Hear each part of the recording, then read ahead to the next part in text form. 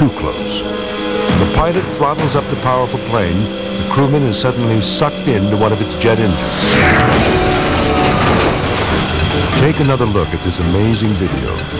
One minute the crewman is working next to the plane, the next he disappears right into the engine.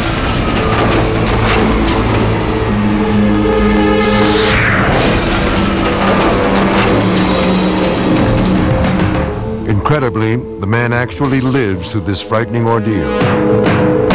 You seem